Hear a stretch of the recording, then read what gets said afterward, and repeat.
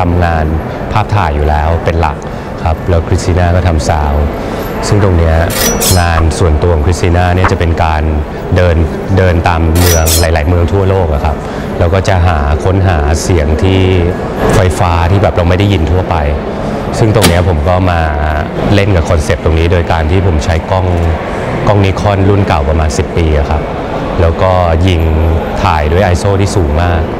แล้วพอเวลาพิมพ์พิมพ์ภาพใหญ่ออกมา ตัวเกรนกับ noise มันก็มันก็จะโผล่มาให้เห็น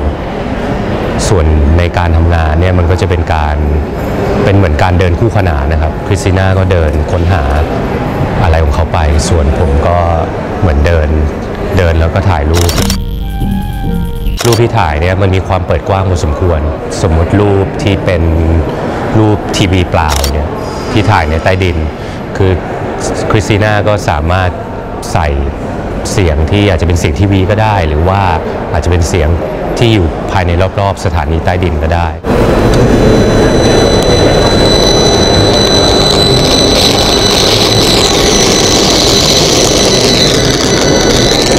เสียงแบบ noise มากค่ะอัน นี้อันนี้ก็จะเป็นเครื่องมือนะคะที่ศิลปินให้ไว้สำหรับที่จะฟังเสียงซาวที่เกิดจากการไปอัดมาจากที่ต่างๆ แล้วก็มาคอมโพสเสียงใหม่ ซึ่งผู้เข้าชมนิทรรศการเนี่ยก็จะได้รับมาหนึ่งเครื่องแล้วก็เดินตามจุดต่างๆนะคะ แล้วก็กดเพื่อที่จะฟังเสียงว่าเสียงของรูปภาพเนี้เป็นเสียงอะไร ซึ่งก็ขึ้นอยู่กับการกดว่าเราจะกด ที่หมายเลขอะไร ซึ่งนี้ก็จะเป็นแบบเลข5ที่เขาแบบติดไว้ เราก็จะกดไปที่เลข5ค่ะ แล้วเราก็จะกดให้มันเพลย์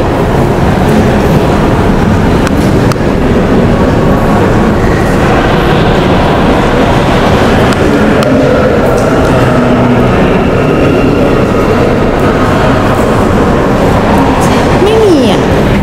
อย่างอย่างส่วนตัวอย่างถ้าเกิดเราเห็นรูปใหญ่ ที่เป็นดวงดวงตาเยอะๆอันนั้นก็เป็นสิ่งที่ผมรู้สึกว่าเวลาเราอยู่ในกรุงเทพเนี่ยปกติ เราไปทำงานไปแล้วเราไปจากจุด A ไป B เราก็ไม่ค่อยได้สังเกตอะไรเท่าไหร่แต่พอมาทำงานชิ้นเนี้ยมันทำให้เรารู้สึกว่าโอ้โหจริงๆแบบกรุงเทพเต็มไปด้วยป้ายโฆษณา มันเยอะมากเลยเทียบกับต่างประเทศแล้ว สิ่งสิ่งที่เราเห็นแบบอย่างแรกก็คือเลยสายตาของตัวไม่ว่านางแบบในแบบที่มองเราอยู่เป็นการเชื้อเชิญให้เราพยายามจะซื้อของหรืออะไรก็แล้วแต่ ซึ่งจริงๆมันมันก็เป็นธรรมชาติของคนอยู่แล้วว่าเวลาเราเรามองไปที่คนเราก็จะมองที่ตา ผมก็เลยดึงจุดนี้ออกมา แทนที่จะถ่ายอาจจะถ่ายรูปเป็นตัวสิ่งของที่จะขาย ก็เลยโฟกัสที่ตา ซึ่งเป็นจุดที่ผมรู้สึกสนใจ แล้วตรงตรงนี้มันก็น่าสนใจอีกอย่างตรงที่ปกติเนี่ยคริสติน่าเขาจะทำคือรูปหนึ่งแล้วก็ sound หนึ่งแต่อย่างงานชิ้นเนี้ยเขาเลย remix sound เยอะมากเป็นแบบอาจจะ 10-20 sound เอามาเป็น sound เดียว So the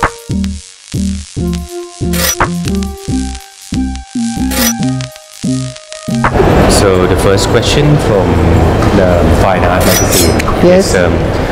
what criteria do you use when you um, when how do you decide which sound wave to use for which picture? I think it was a kind of collaboration between us because sometimes I had an idea of a nice sound and you found the picture, Yeah. and sometimes um, it was the other way around that um,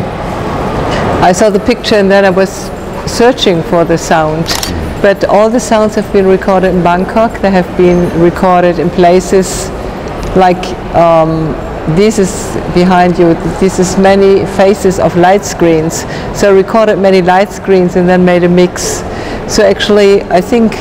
it it was depending really on his choice of pictures. It was a collaboration and not just um,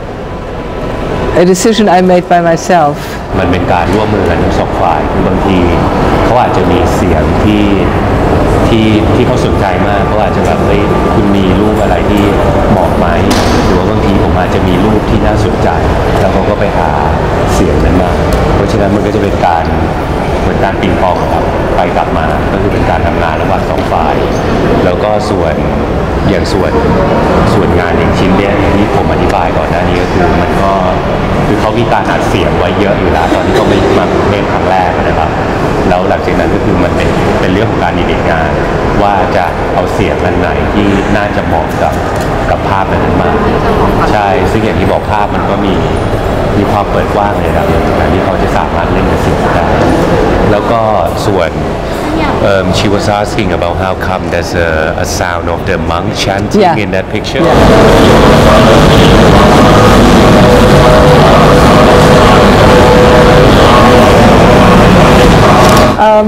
These uh, special headphones are capturing as well radio waves.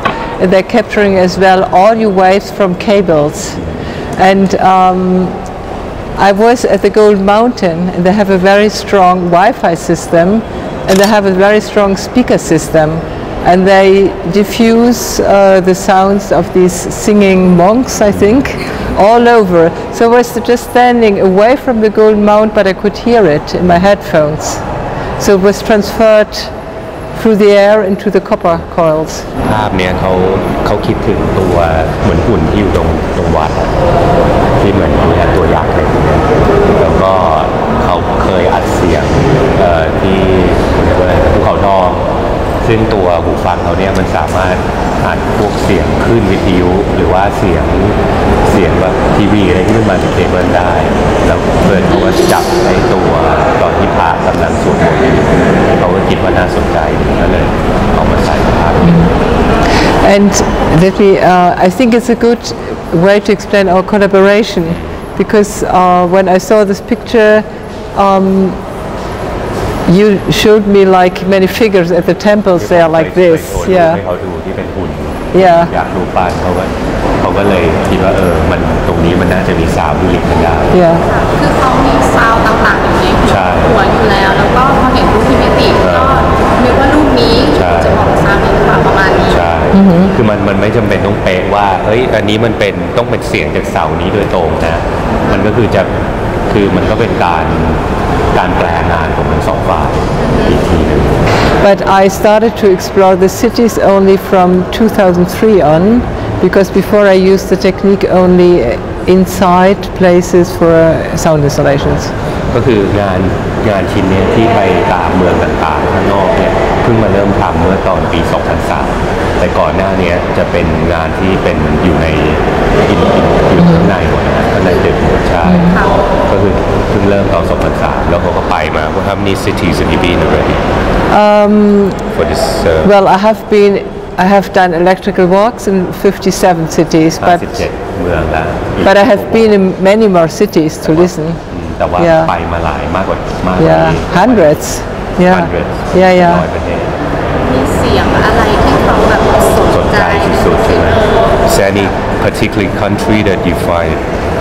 so fascinating or จากที่ฟังมา after Every you every country. ทุกประเทศ Yeah. มันมีความแตกต่างกันหมด ส่วนใหญ่เป็นเสียงอิเล็กทรอนิกส์ ใช่ แต่ว่ามันโทนอะไรมันก็จะต่างกัน Yeah, but they're very different. Like um, Bangkok, I'd always try to find the typical sound of a city. And um, of course, what we heard in CM Center or so on, this is the kind of cosmopolitan, Yeah. the globalized sound. But when you walk in Bangkok around in all the streets, you hear something special, like all these little cable things, people doing something, working with machines. It's a kind of general electrical activity, and this is very typical Bangkok for me. ก็คือถ้าเกิดเรามองในแง่ของสยามอะไรเงี้ยมันก็อาจจะไม่ต่างจากโซลนะฮะเป็น ไป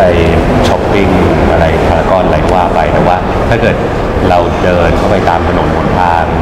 ตรอกซอยอะไรพวกนี้เราก็จะได้สิ่งที่คน